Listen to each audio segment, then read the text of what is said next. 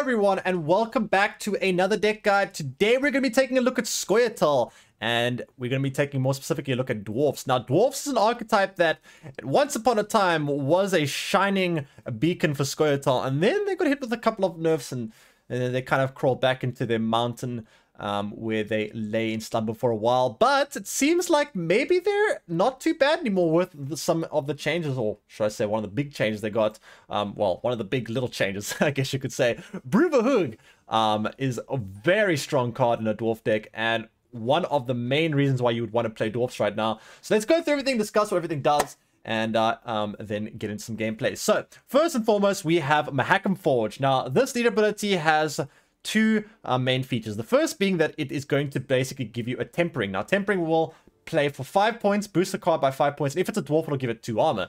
Um, you can convert that armor to points in a number of ways, which we'll discuss in a bit. Uh, the other thing is also has a passive ability um, that boosts all, or not boosts, but rather gives all the dwarfs in your deck one armor. And that is very, very important for two things. One of them is Brouver Hoog. Now, Brouver Hoog, the star of the show, gain one armor for every dwarf in your hand. Barricade, which means while he has armor at the end of your turn, boost all dwarves with armor on this row by one. Think of this card like Gezras, but for dwarves, but even better. With a Gezras, without adrenaline. You can play this card turn one if you want to. You can play this card turn two. You can play this card very early. And that's quite important because this card can come down, boost your entire row up almost every single turn. And that is an insane amount of points um, which this card can end up playing for. So Brouver Hoog, star of the show, and the main reason why you'd want to play this deck. We also have Munro. Munro is transformed two allied Rowdy Dwarfs into Berserkers. Um, you get Rowdy Dwarfs a number of ways. You get one Rowdy Dwarf from Figgis, you get one Rowdy Dwarf from the Chariot. You also get three Rowdy Dwarfs from Zoltan's Company, and you get two Rowdy Dwarfs from Zoltan Warriors. So a couple of ways to get Rowdy Dwarfs, and um, you can transform them into Berserkers. Now, why would you want to transform into Berserkers? Well, first of all, they're one point stronger than Rowdy Dwarfs, and they also have they also come with 4 armor, and every turn what this card does is it's going to damage itself um, while it has armor, and then do 1 damage to random enemy units. It'll stop once it loses armor, so it won't kill, it won't damage itself into oblivion and suicide, but it will basically transform, basically turn its armor into points. If you want to have a way to, to convert armor to points, um, give armor to Dwarven Berserkers. Um, Zoltan basically has two abilities. If you put him in the melee row, which is what you're going to use him most of the time for, it'll spawn two Rowdy Dwarfs on this row. If you put him in the range row, however, he will um, boost all allied Rowdy Dwarfs by two. So if you have a lot of Rowdy Dwarfs, you don't know what to do with them, you could boost them up with Zoltan. Otherwise, play him on the melee row, give yourself some Rowdy Dwarfs from one row, and that is a nice way to get some bodies there. Um, Brewery spoke about Heatwave, just a nice form of removal. Um, so there's that. We have Call the Forest. We don't play Neuromancer just because I want to try squeeze in a little bit more into the 5p slot. So downgraded Neuromancy for the Call of the Forest. We also play Novigrad Injustice. This is going to be able to play a Bronze Dwarf or Crown Splitter from your deck. Um, this deck has so many dwarfs in it, so you got many, many targets. You can you don't even have to keep it for volunteers. You can play the volunteers from hand and then keep it for something like a Mahakam Guard. It's perfectly fine. This whole deck is dwarf, so the condition is very easy. The condition, of course, being if you want to get the, the Cleaver's Muscle to spawn, you need to have a dwarf on the board first. But it's so easy to get a dwarf on the board. This basically has no condition, this deck. Um, so that is quite nice as well. Um, we also play Yarpen, damage enemy by 3, and then Barricade at the end of your turn, lose all armor and boost self by however much armor he lost. So another way to convert armor into points is with Yarpen. Gabor, gain resilience in the melee row, range row, gain immunity. So if you don't find him by round three, you can obviously play him ranger and try use him as an undirected amount of points. But if you do play him melee row, you get resilience, which means he's going to carry over to the next round. And also, whenever you play a dwarf, boost self by one. So he's also an engine in his own respect, which is quite nice. Um, Figgis spawn a Rowdy dwarf for this round. It's a defender. So again, protects your row, helps you, you know, make sure some of your other engines survive. Xavier Moran, a pretty strong card on dwarf deck. So whenever this card, um, whenever you play a dwarf, gain one armor, and then while this card has armor, at the end of your turn, he'll boost self by one. Um, so very easy to get this going, and it's make sure probably not want to damage him because if they do damage him, he's going to play more dwarfs, and he's going to get more armor again anyway. So you kind of don't want to damage him regardless. Um, Zoltan's Company, already spoke about that, spawn three Rowdy Dwarfs. Mahakam Volunteers, if you control a Dwarf, summon all copies of this unit from your deck to this row. So just a nice thinning card. Also put some more Dwarf bodies on the board. Great target for Novigrad Injustice. And um, helps you swarm the board for things like your Zoltan, or not Zoltan rather, but for your Brouver. Um, we also play with the Dwarven Chariots. Now, this is an interesting card. Spawns a Rowdy Dwarf on this row, and then Order ability. Um, give an allied unit one armor. Has cooldown one, so you can do this every turn. And you can convert those armor into points with a number of ways. One being Berserkers, two being Yarpen, and three being if you give dwarfs that don't have armor anymore armor, that obviously enables Brouver Hoog to boost them up. So can be quite a nice card there. Dwarven Berserker, Ray spoke about this. Basic convert your armor into points. Mahakam Marauder, give vitality or gain vitality for two turns. Bonded, gain vitality for four turns instead. So um, just a nice proactive six point play. And the second one, if you have one on the board, will play for um, eight points, which is not too bad. Pyrotechnician, damage a random enemy unit and self by four. Now, the nice thing about the Pyrotechnician in this deck is he comes down with three armor rather than two armor because of his leader ability. So, um, actually, seven for four, essentially, just face value. And then, obviously, if you give it more armor, he gets a little bit more value on top of that. Um, minor, boost an allied unit by two. If it's a dwarf, also give it two armor. Um, pretty self-explanatory. And then last but not least, Mahakam Guard, boosts self by the number of allied dwarfs, um, dwarf units on this row. Um, so, you know, you have a couple of dwarfs in the row, you play the Mahakam Guard, and you can boost himself to quite a big amount of points. And considering his whole deck is dwarfs, Mahakam Guard should actually play for a pretty fair amount of points um, most times. So, basically, that is the deck. Um, nothing too crazy, but Brouver Hoog, of course, being quite actually, contrary to what I just said, quite a crazy card. So um, that's the deck, and let us get into some games and see how the deck ends up performing. Okay, so up against Imposter. Now, the problem with Imposter is they could do some cheeky things to us. We've got to be careful um, with the leader abilities. Let's see what we, what we have to work with, and then we can decide how things are going to go. Probably going to mulligan away. Um, you for now, and possibly going to mulligan away also one of these. Um, okay, so how are we going to start things off? Might just go Dwarven Chariot, honestly, and then play something like the Pyrotechnician afterwards.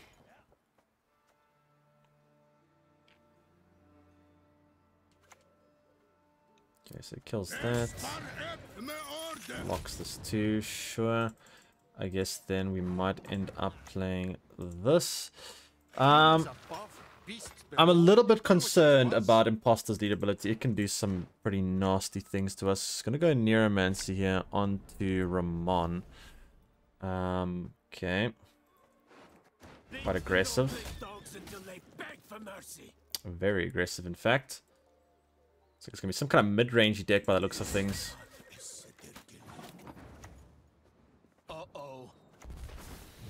We'll do that, give this some armor, and I'll, looks like I'm actually going to take an early pass because I don't really see a way in which I'm going to win this round when he's committing this hard to it. So all these on the board, yeah, that's probably just going to be a pass from me.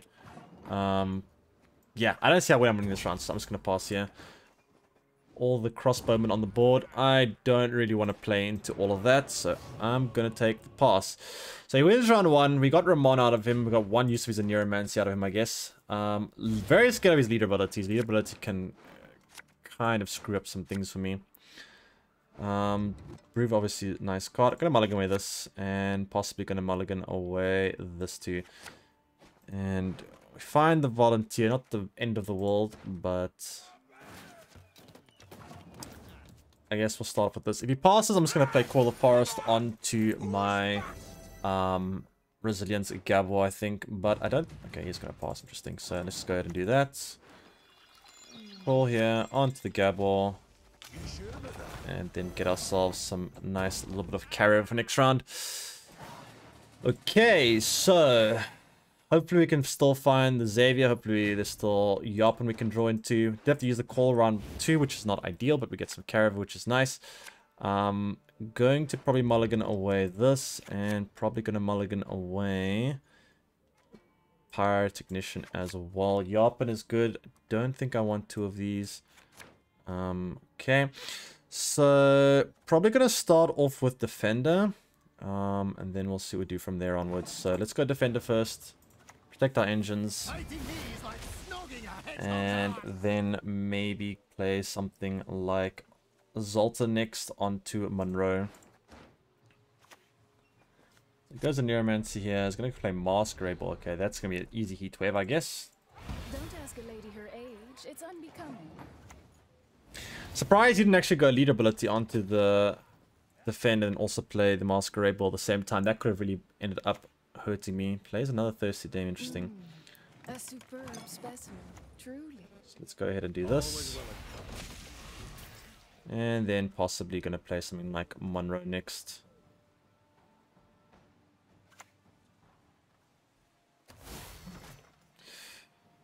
Um, okay.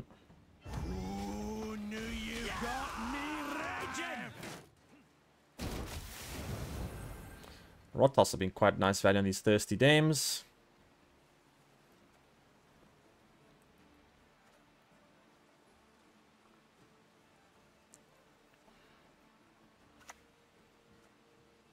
Meat is best served bloody, bathing in its juices. Mahakam wasn't a belt in a day. I think now is probably the best time to go uh, leader ability here. I'm assuming though what's going to happen is most likely he's going to poison this and then also use leader ability on my Brouver I would expect. But this Brouver already coming down for quite a few points. We have a fairly big point lead which is also quite nice. Here comes Ram I mean, Moral. That's kind of scary. So he goes leader ability on the Brouver, sure. Um, that is a very scary Moral.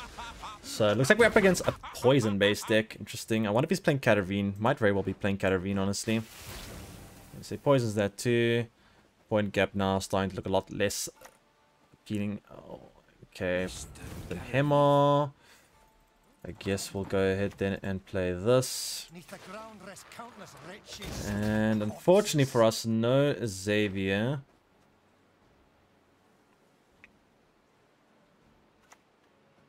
Another poison, wow. That is quite a bit of poison our opponent seems to have here. I'm gonna go ahead and play Justice, pull out some Volunteers. Oh, you've done it now. And I guess I'm gonna armor this up. Probably gonna use Yarpen to kill off the Cupbearer, and then let's play this Mahakam Guard as my last big finisher. Um, so still getting some passive value. Um, these poisons actually played for a pretty crazy amount of points. Annoyingly for me.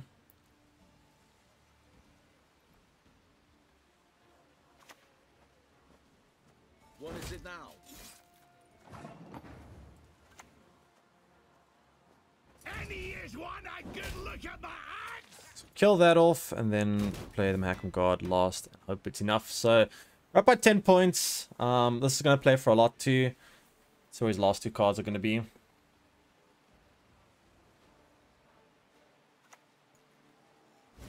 Like a heat wave. Um, so down comes the 10 point guard. Needs to 13 points here. It's not that easy. 13 point, actually more than 13 points. 14 points to win. Invo's not going to be quite enough. So we just take the win here.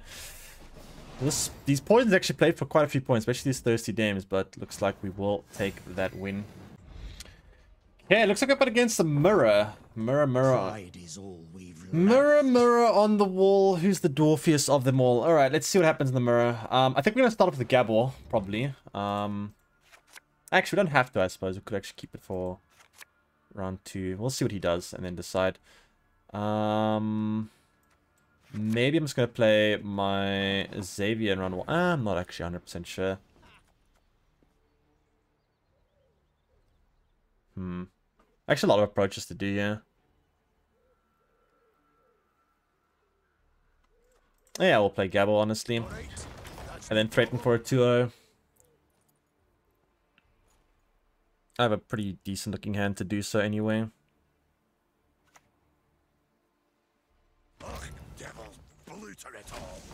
Okay, I'm gonna do this too then.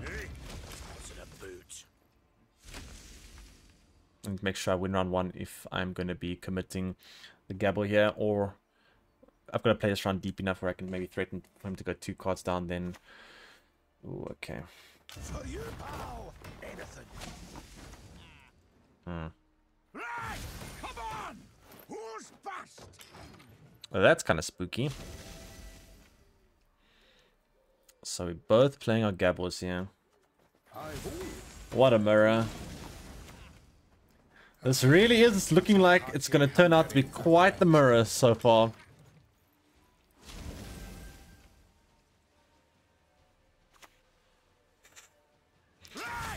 Oh boy. Okay, well, I guess there's not really much incentive for me to keep going. Okay, so we both played exactly the same cards. I guess he gets a little more carry than I do. So he's playing with Zoltan, it seems interesting. He's got a little bit more carryover. Am I going to get bled? Hopefully I can find my heat wave. Um, Defender will be quite nice. Stops his heat wave, which will be good for me. Probably mulligan away this. Probably mulligan away one of these. I think I need two of them. Um, can play Call of Forest for Munro, so that's nice. Don't have Heat Wave though, which is a bit annoying. So the question is, is he going to bleed? Looks like he might.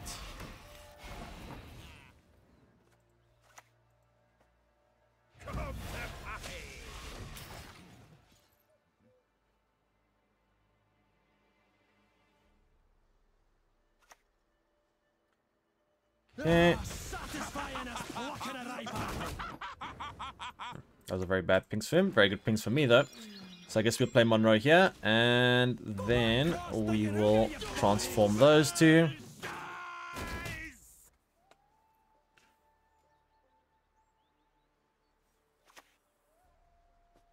We're the best regiment in the whole plowing north.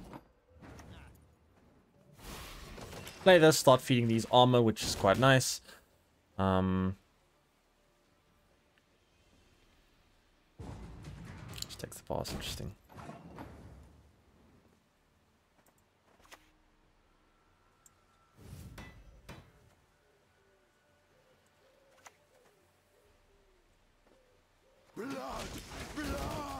Okay, so we commit Zoltan, which is a bit more than what he commits the other Zoltan. Not that one. Um, Brouver and Defender. Okay, so we gotta make sure we just get our Brouver down as quickly as possible and try get the most amount of points as we can. Heatwave, I guess we'll find some value. Um, yeah, his hand's probably as good as it's getting, honestly. So I guess we're gonna keep this. And then we're probably going to start with Defender, then we're probably going to play Brouver, and then we're probably going to play as many Dwarfs as quickly as we can. So our goal here is to get our Dwarfs down as fast as humanly imaginable for Brouver. The earlier we get Brouver down, the better. And looks like he's going to go for the same thing. So let's play Brouver now, and I think I'm going to use my lead ability on this because the faster this gets value, the better for me. So we'll play that. And now Brouver can start doing his thing.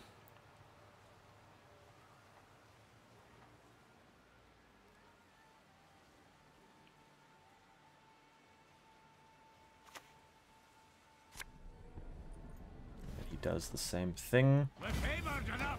Let's get to work. This whole match has been just one absolute mirror. Oh, you've done it now. Wouldn't be surprised if our opponent does something similar to this, although he can't really do this, I guess, because he's already played the Volunteers, so that's nice for me. Oh, I'm feeling sleepy, grumpy, dopey, and bashful.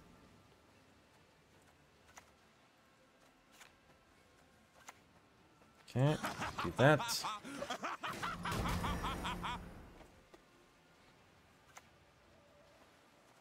Dance! Dance!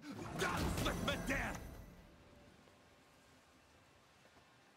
Feels like I tempt fate every passing day. And then I suppose we probably play this next.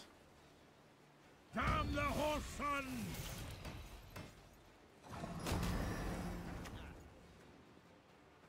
Everything all right?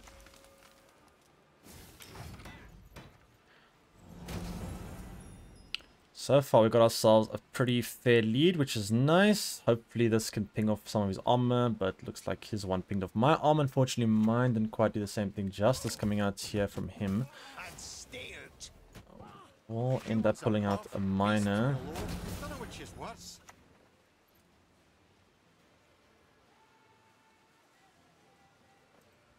Actually, I could probably play Yarpen now. And he is one a good look at my axe! And Heatwave last one to open up more space in his melee row.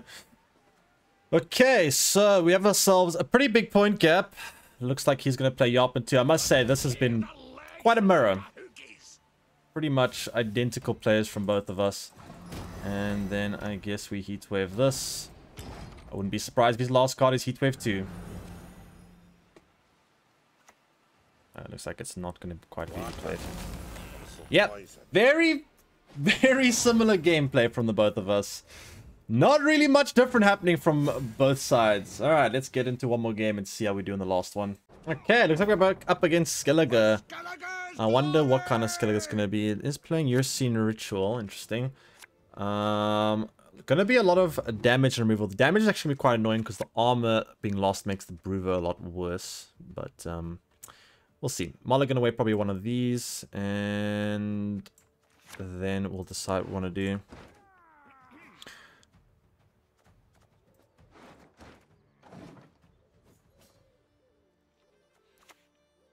Starts with Cerys. This is Lippy. Starting with Cerys is a bit odd unless you're playing Lippy. I'm going to start with this, I think. And he doesn't want to remove this arm because if he removes this arm, it'll just come back. It's pretty difficult to get rid of this armor. It's just always coming back, basically, with all the dwarfs who play in this deck. Plays a Gutting Slash. Interesting. Um, I think I might want to go for Gabor, though. And start getting myself some nice carryover. Um... It's also an engine, so I kind of want to get it down early too.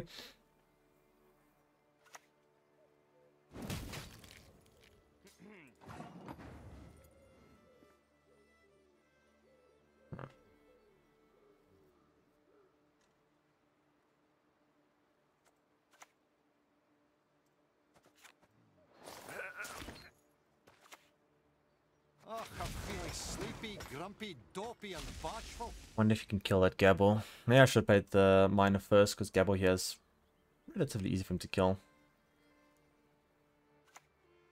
Oh, he's oh, it's Lippy. Okay, so it is Lippy. He's gonna go for Blue Boy here. He might miss. Come on, let's go. Time to face our fears. Okay, doesn't kill the Gabor, which is very good for me.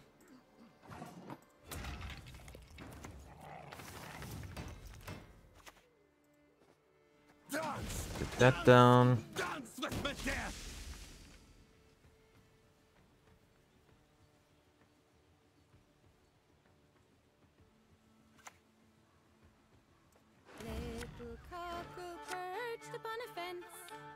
Okay, so he plays the Snowdrop here. I think I am just gonna go ahead and play Pyrotechnician next, possibly. Um,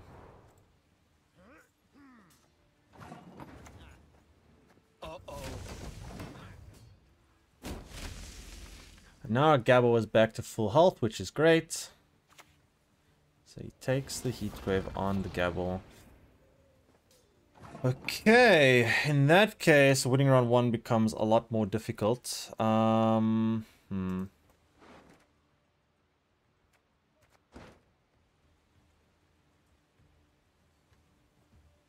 I wish I had Heatwave to banish the Cerys. Fortunately, I did not.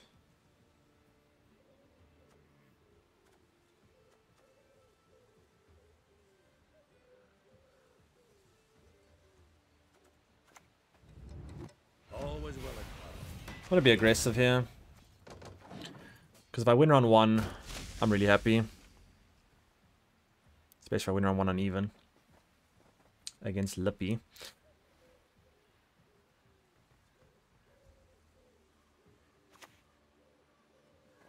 So be it. There's Burner.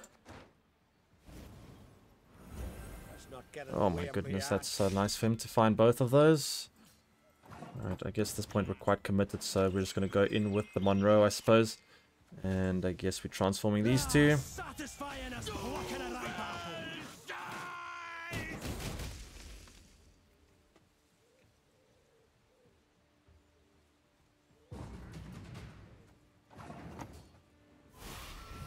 Okay.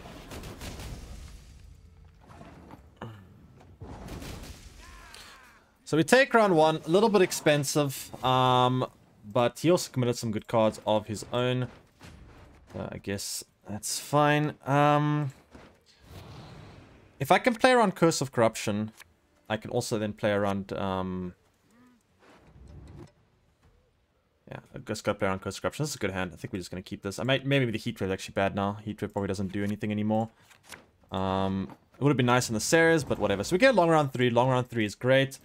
I guess we just want to make sure we can find one or two of these. And then as long as we play around the Curse of Corruption, I think we're okay. I guess, even if you play, I guess, it, actually, do I have to care about Curse of Corruption? So if I play Defender, he Curse of Corruption is Defender. And then I play Gab, uh, Brouver. It's hard for him to deal with Brouver. He can, in Neuromancy, Heater, but then he can't take his Cerys out, which is kind of nice for me. Um, maybe I don't even care that much. I guess I could start with this, perhaps, and just...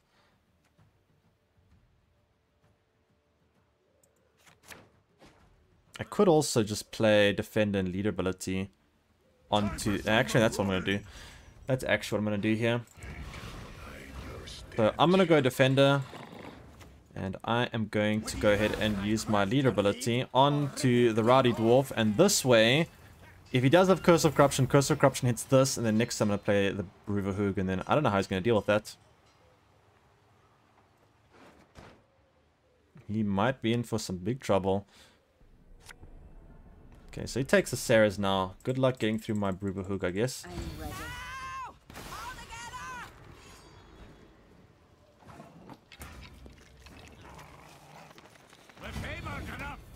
And this is going to play for quite a few points that he will not be able to really disrupt.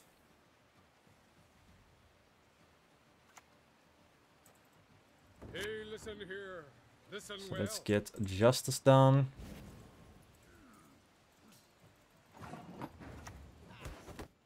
And pull these two out. And now this Brew is going to play for just so many points a turn. I'm not sure what our opponent's going to do about this. It's going to be kind of crazy. Going to get the Berserker down next. And then, I mean, just, just so much passive value coming in from this Brouver. Like, this is basically a guess that he can't really answer. I'll cleave you. I guess that's one annoying way he can do some amount of points. Take away my armor, but sure. Um, so we'll play that, and then I guess if we get this down, we can give this armor again. What is it? Let's get this engine down and start giving our cards armor once more for this. Bleedboard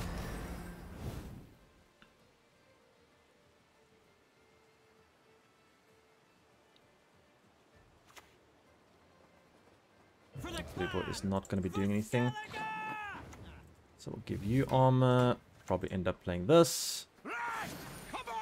And this Brouver value just absolutely phenomenal. That is annoying though. Pinging my pinging this and then hitting the my losing my armor is kind of annoying, but eh, it should be fine. We have just so much points from this Brouver. Brouver survives, just plays for such an extraordinary amount of points. It's kind of insane. Um,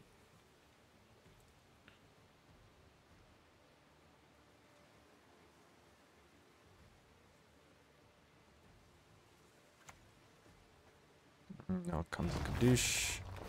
Sure. What you gonna do, huh? Give that armor. I'll protect you, right? And yeah, looks like we're going to be winning this game by quite a big amount, actually. Um, last card might be Curse Corruption, doesn't even matter. If Brouver survives, this deck just has such an extraordinary amount of points. There just really isn't a whole lot your opponent can do if they don't have an answer for Brouver. Anyway, that is the deck. Hope you guys enjoyed the video. Um, Dwarfs, it, it didn't really change a whole lot, except they got Brouver And I must say, Brouver is a really, really powerful card in a Dwarf deck. And it kind of makes you want to play this deck. So, I mean, if Dwarfs is your thing, um, you can try give Dwarfs a go. Brouver and his army of little people seem to be actually a lot better than they used to be. Um, and maybe even competitive. So, hope you guys enjoyed the deck guide. I hope you guys um, liked it. And if you do have any questions regarding this deck, as always, feel free to ask um, in the comment section below. I'll try answer some questions if you guys have any. And I will see you guys on the next deck guide soon. Um, take care, everyone, and see you next time. Bye-bye.